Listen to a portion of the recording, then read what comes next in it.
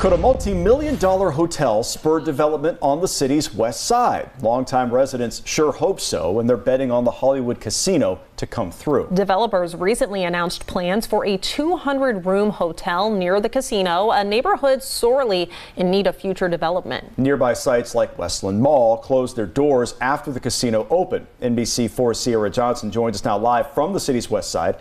Sierra, this new project is aimed at keeping business in the area, right?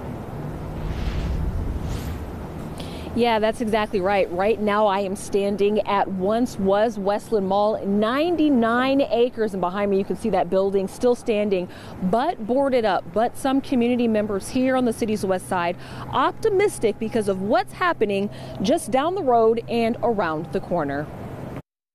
If you're going to come here, you're going to play here. If you play here, you're going to stay here. And Franklin Township trustee John Fleshman says the construction of a new 200 room hotel adjacent to Hollywood Casino has the potential to spark new projects around Georgesville Road. What we build here is going to help over here. What they build there is going to help dictate what comes over here. According to the developers, the new hotel will accompany the casino that was built in 2009. The hotel will span 150,000 square feet, offer conference rooms, suites, and will bring 100 permanent jobs to the area.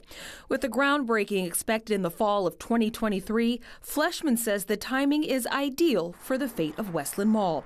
In January, Ohio Governor Mike DeWine announced more than $20 million for five revitalization projects in Franklin. Franklin County, and demolition of the mall is on the docket. According to the state, mixed use development is slated for that land, a move coming at an ideal time for the growth happening just down the road. By having a hotel here, you're bringing people in that's going to have the dynamics for new growth here. Now we need to look at multi use, what this land will be able to use, what's going to bring people in, and how is it going to play for each. And that trustee you heard from says in the long run, everyone benefits, especially those living in the township. He says because of the new hotel, which could spur new business, it helps contribute to that tax flow.